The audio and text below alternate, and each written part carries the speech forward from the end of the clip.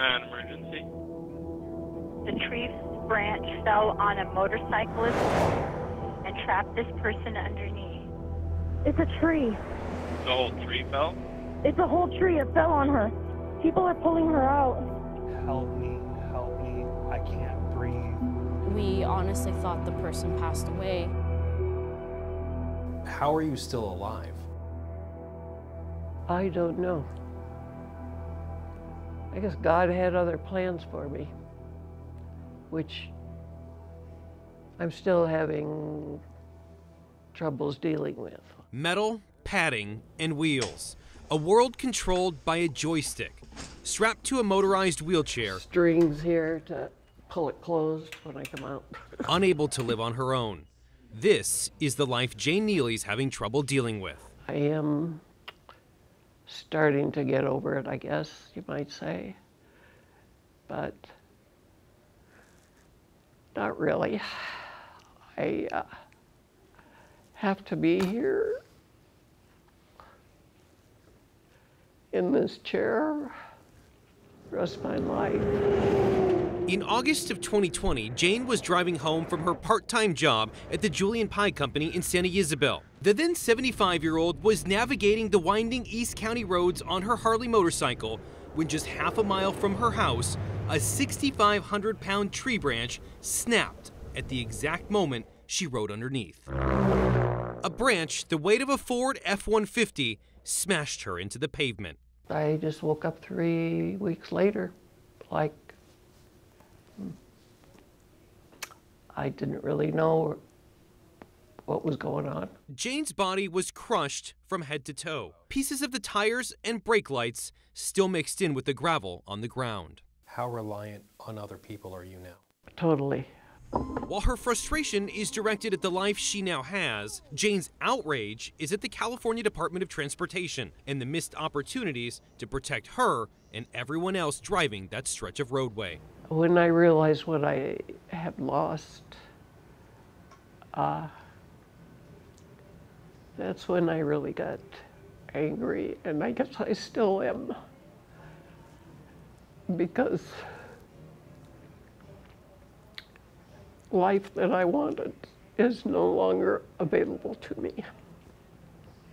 This aerial video, captured by a forensic accident reconstruction team, shows the exact location of the 75 foot oak tree. It's in what's known as Caltrans right of way. It's the responsibility of that state agency to inspect and ensure the tree and the roadway are safe. Anyone who knew what they were doing and knew what they were looking for should have identified A, this area, and B, this particular tree, and done something about it. Brett Schreiber is Jane's attorney. He says a branch of the tree split from the original trunk. Over the years, it grew to 38 feet long, directly over the road, and became extremely heavy. All they had to do, because you could see this just driving down the road, was send a crew out there and do some basic weight reduction on the side that was overhanging. Caltrans is required to do an annual tree inspection, looking for situations that are dangerous to the public. That's from a maintenance directive going back more than a decade.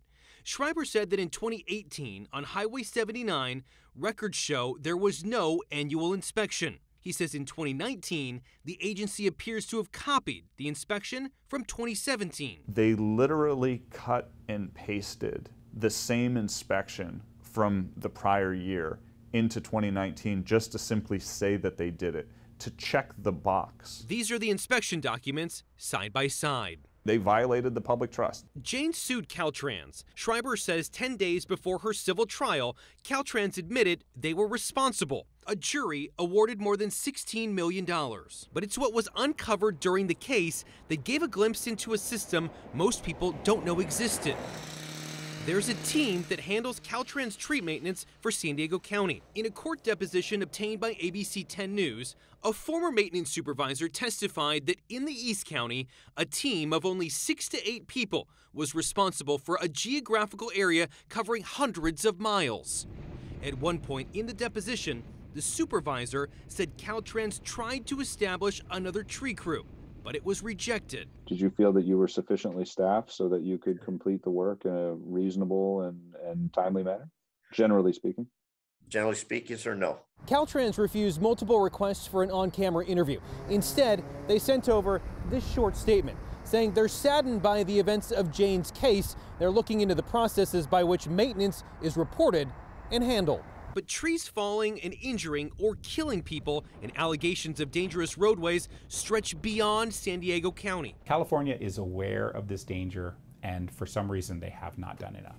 Tim Loranger is an attorney in Los Angeles. Right now, he has three cases against Caltrans involving trees. One of those, the Sepulveda family. They're suing Caltrans and the Department of Parks and Recreation for wrongful death and dangerous condition of public property. According to their lawsuit, in May of last year, Ruben Sepulveda was heading north on Highway 101 near Redcrest in Northern California when this tree fell across the road. Loranger says Ruben hit the tree was hit by another car and died several weeks later. How many more people have to be involved in accidents like this before something really serious is done? This is a hospital bed with an air mattress on it. While Jane survived, her independence ceased to exist. How much time do you spend generally in this room? I spend really half the day, 12 hours. When she struggles to get out of bed, take a shower, These are all my supplies. Or just move throughout life, Catheter. That's what I use. sometimes she questions whether living was the best outcome. I'm getting stressed out because I'm getting angry. On August 19th, 2020, Jane Neely started the day a Harley riding granny. She ended it a paraplegic. Don't let somebody else have that happen to them. It's not easy being in a wheelchair.